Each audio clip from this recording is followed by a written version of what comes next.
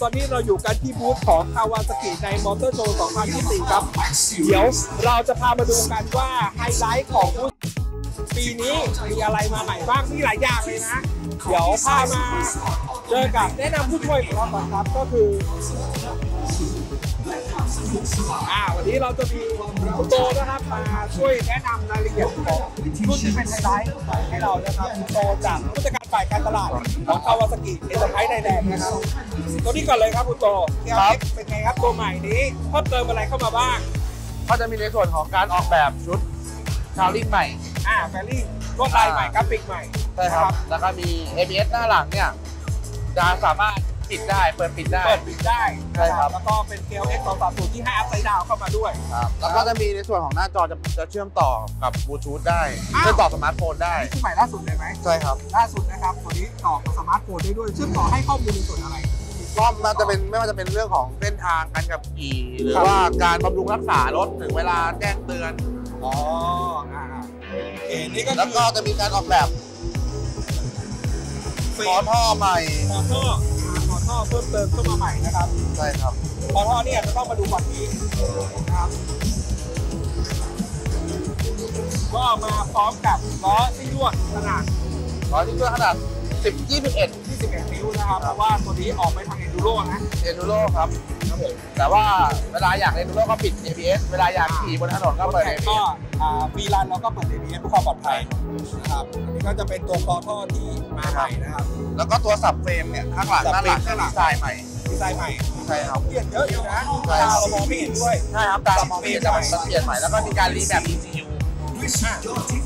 ป็นการที่แบบให้มันเป็นจักรยานบ้างเพิ่มเพิ่มอัตราเร่งในช่วงต้นถึงช่วงกลางให้มากขึ้นเนี่ยคือ KLX 230 ABS ใหม่ปี2024ปี2024ครับ2024นะครับ แล้วก็ไฮไลท์ตัวหนึ่งตัวนู้นนะครับ ก็จะมีตัวนินจา EV Ninja E1 นะครับ เป็นไงบ้างครับ E1 ปีนี้เรา E1 นี้จะเป็นโปรเรามาโชว์แล้ว เอามาโชว์แล้วแต่คราวนี้เราเพิ่มอะไรเข้ามาจริงๆเหมือนกับ Motor Expo แต่ว่าเรามีการเรามีช่วงราคามาบอกก็คือ ช่วง 259,000 ถึง 279,900 ไม่เกินนี้ประาณไม่เกินนี้เราอยู่ราวๆนี้ครับก็ซึ่งราคาที่แน่นอนจะบอกในไตรมาสที่3ช่วงไตรมาสที่สามแล้วก็จำนวนจำกัดกี่คันนะ ที่เราจะเปิดจองจำนวนจำกัดอันนี้ยังไม่แน่ใจครับ แต่ว่าจำนวนจำกัดแน่นอนครับ ประมาณ 20 คัน 20คันที่ได้ยินมานะครับ นี่ก็จะเป็นส่วนของ EV pure 100% ที่อยู่ในรถ sport bike จากคาวาซากินะครับ แล้วด้านนี้ด้านซ้ายใหม่ล่าสุดก็จะเป็นตัว concept bike นะครับ ก็คือ Ninja 7 Hybrid จริงๆต้องต้องพูดว่ามันเป็น mass ของมันเป็น mass ของยุโรปแล้วเอาเป็น mass product แล้ว เป็น mass product ที่เราส่งขายที่ยุโรปแล้วครับ แล้วมันมีอะไรที่มันเปลี่ยนแปลงกับเครื่องยนต์ที่เอาเข้ามาในตัวนี้ จุดเด่นของเขาจุดเด่นก็คือ เรามีโหมด เรามีโหมดทั้งหมด3โหมด ครับผมก็คือ sport hybrid ครับ eco hybrid eco hybrid แล้วก็ EV EV EV ก็คือใช้มอเตอร์ EV ก็คือใช้มอเตอร์ pure อ๋อ eco hybrid ก็คือจะอยู่ในโหมดพลังประหยัดพลังงาน ตัว ECU ก็จะไม่ปล่อยกำลังของเครื่องยนต์เต็มแล้วกำลัง ไฮบริดตัวนี้เราต้องชาร์จไปไหมไม่ต้องครัไม่ต้องไม่ต้องมันเป็นเครื่ต้องยนต์ชาร์จก็คือเป็น parallel charge ปกติครับ เลย นะครับเป็น parallel hybrid แล้วก็สามารถที่จะเลือกใช้มอเตอร์ 100%ได้เหมือนกันใช่ครับ แล้วก็มีเกียร์ออโต้เกียร์ manualออโต้กับเป็นด้วนด้วยอ่าเพราะว่าใช่ครับเราเป็นตัวอ๋อออโต้อะถ้าออโต้เขาเป็นระบบอะไรออโต้ก็เบียดกันได้อย่างเดียวครับ เดี๋ยว ECU จะเข้าเกียร์ให้ ECU เขาเกียร์ให้ใช่ครับเอ้ยอีกทีก็แบบว่าคล้ายๆคุ้นๆกับอีกระบบหนึ่งของอีกค่ายหนึ่งเลยนะ อันนี้มาใหม่เลยนะครับกับคาวา คาวามักจะซุ่มนวัตกรรมอะไรอย่างนี้มาให้เราแต่เราไม่ใช้มีตลอดไม่มีไม่มี paddle shift ไม่มี paddle ไม่ไม่สำหรับเปลี่ยนเกียร์ไม่มีไม่มีที่ไปเปลี่ยนไม่ได้เปลี่ยนเกียร์ที่เท้าไม่นะได้ครับเปลี่ยนเกียร์ที่เท้าเปลี่ยนเกียร์ที่มือเป็นแพดเดิลเป็นเป็น chip แพดเดิล tonic ชิปอันนี้คืออันนี้อันนี้อัพชิปอัพแล้วก็ชิปดาวที่นิปโป้นิ้วโป้งโอ้โหนี่นะฮะคือเป็นแมสโปรดักที่ขายแล้วในยุโรปผลิตที่ไหนประกอบที่ไหนผลิตที่ไทยครับประกอบที่บ้านเรา ส่งขายยุโรปแล้วนะครับตอนนี้ แต่ว่าบ้านเรานี่ยังไม่มีกำหนดเนาะยังไม่มีครับว่าจะเริ่มเมื่อไหร่ยังไม่มีครับ นะครับแล้วก็เป็นเครื่องยนต์ไฮบริดตัวแรกไหมที่อยู่ในมอเตอร์ไซค์เป็นรถไฮบริดคันแรกของโลกครับ ที่เป็นอยู่ในมอเตอร์ไซค์แล้ว production ขายครับนะครับ แล้วก็ตัวนี้จะมีฟังก์ชัน การหาเกียร์อัตโนมัติสมมติเราขี่มาแล้วเราเราจอดติดไฟแดงครับ มันจะลงมาที่เกียร์หนึ่งอัตโนมัติ เมื่อรถหยุดนิ่ง พร้อมที่จะสตาร์ทใหม่อีกครั้งหนึ่งอ๋อเหมือนเหมือนระบบไอ้ดับดับเครื่องอัตโนมัติให้ อันนี้ก็มีครับ idling idling stop ก็มี มีอยู่ให้ด้วย ใช่ครับโอ้ยัดคือมันถ้าจอดปุ๊บเนี่ยมันก็จะถอยไปเกียร์หนึ่งให้ก่อนครับแต่ถ้าเราไอเดิลไอเดิล idle เป็นไว้ระยะเวลาหนึ่งมันก็จะ stop ให้ กี่วิยังไม่รู้ยังไม่แน่ใจครับยังไม่แน่ใจ ก็เดี๋ยวก็ต้องมาดูว่าในตัว mass production ที่อาจจะมาขายไทย อันนี้ยังไม่อาจจะไม่แน่ใจอันนี้ยังไม่แน่ใจครับ เดี๋ยวรอดูกระแสก่อน อีกตัวหนึ่งที่เปิดผ้าคลุมมาแล้วเมื่อวานรอบดึงอ้าวอันนี้ซุ่มมาจากไหน คือสื่อแบบเฮ้ยเดี๋ยวก่อนนะ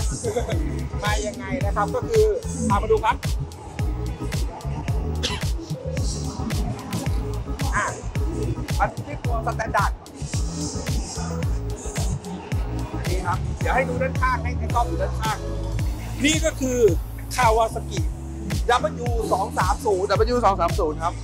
ก็คือเดิมเนี่ยเรามีตัว W 2 5 0 W สองห้าศูนย์ที่ผลิตที่ญี่ปุ่นเครื่องที่ญี่ปุ่นใช่ครับแล้วเป็นงานแบบวินเทจเป็น heritage ที่งานเนี้ยบเนี้ยบทั้งคันครับบอกเลยว่าผมเคยเอาลองมาทำรีวิวแล้ว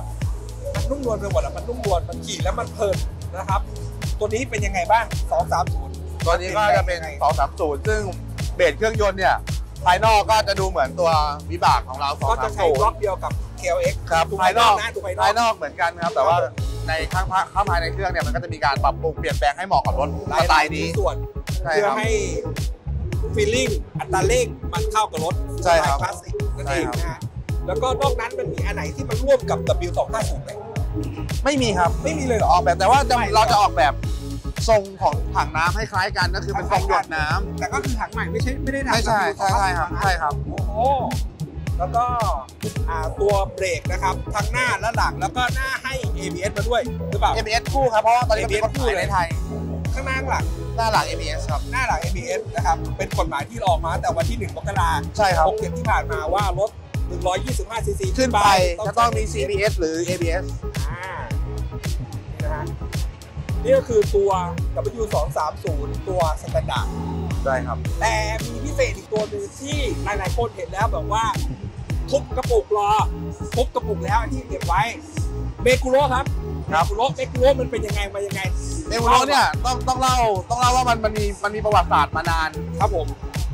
ขนาดร้อยปีแล้วอ่าถ้าเห็นจากบอร์ดด้านหลังอาจจะเห็นเลยครับว่าครับผมเราเริ่มตั้งแต่ปีอะไรอ่าฮะแล้วก็จบ จนถึงปีนี้ก็ครบร้อยปีเมกุโระครับ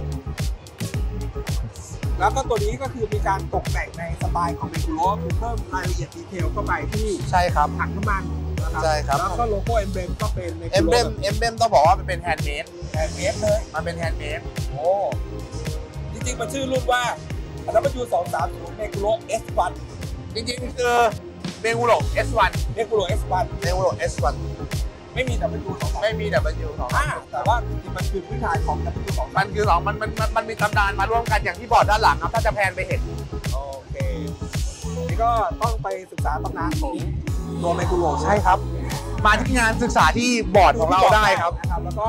ตัวกระเป๋าข้างเนี่ยเขาก็จะมีสติกเกอร์ที่เป็นกราฟิกอันนี้ก็คือเป็นเมกุโระคำว่าเมกุโระภาษาญี่ปุ่นภาษาญี่ปุ่นนั่นเองซึ่งตัวหน้าปัดก็จะมีเช่นกัน ครับ นี่ในนี้ ตัวเรือนไม้ก็เหมือนกันนะสองสองรุ่น ตัวนี้เพิ่มเพิ่มตัวเมกุโระเข้ามา ใช่ครับ ตัว W ก็จะมี W อืมนี่นะฮะ ราคาก็รู้ในไตรมาสที่ 3 เช่นใช่กันครับ พร้อมส่งในไตรมาสที่เรียกว่าเมื่อวานเปิดข้อมูลออกมาเนี่ยโอ้ไตรมาสสามไตรมาสสามไตรมาสสามมีอะไรให้สนุกกันอีกแล้วนะครับกับ คาวาซากิเอ็นเตอร์ไพรส์ไทยแลนด์แล้วก็ในคาวาซากิในมอเตอร์โชว์2024 ปีนี้เนี่ยคือไฮไลท์ของบูธคาวาซากิในปีนี้นะครับครับก็ผมต้องขอบคุณคุณโตมากครับ3ครับแล้วเดี๋ยวผมให้กล้องพาชมคันอื่นรอบๆก่อนได้ครับขอบคุณมากครับครับผมครับอ่าอันนั้นบอร์ดนั้นก็มาดูได้ครับว่าอะไรคือเมกุโรนะครับตั้งแต่ปี 1924 มามาจนถึงปัจจุบัน 2024 นะครับ เริ่มต้นเป็นยังไงเป็นยังไง ลองมาดูได้นะครับ อะหมุนกล้องมาข้างหลังมาที่ Eliminator ล่าสุดนะครับ เป็นตัวโม่งมาแล้วครับก็จะให้ดูว่าในบูธ Kawasaki มีรถอะไรมาจัดโชว์บ้างนะ แล้วก็ด้านนี้ก็จะเป็น Ninja ZX6R นะครับ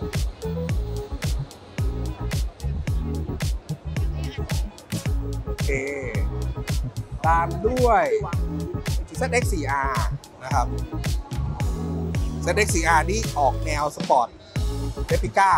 แท้ๆสำหรับสายสนามเลยนะครับตั้งแต่ถ้าเป็นตระกูล ZX เนี่ยนะครับตระกูลนี้จะเป็นสปอร์ตเ e ปิก้านะครับโอเคครับอะอันนี้ก็เป็นไงครับแม่สีน้ำเงินนะครับคาดแดงอะมาดูฝั่งนี้ครับ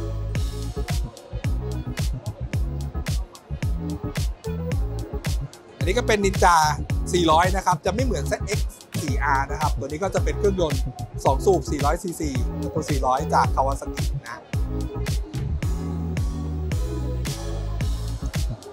ไล่มาต่อจาก KLX ที่เราเปิดคลิปไปแล้วนะครับ ก็มาที่ตัวแข่งนะครับ ก็คือ KX 250 ตัวนี้ก็จะเป็นตัวสนามนะครับ เพราะว่าเราจะไม่ได้ใส่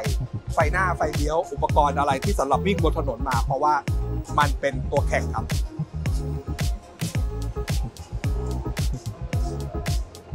แล้วก็ KLX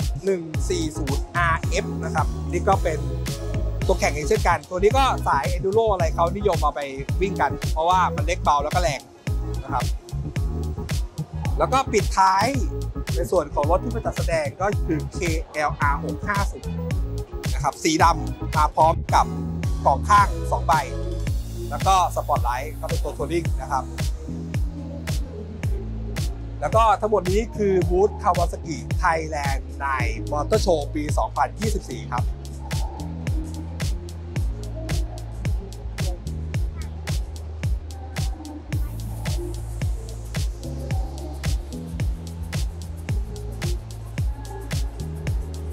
โอเค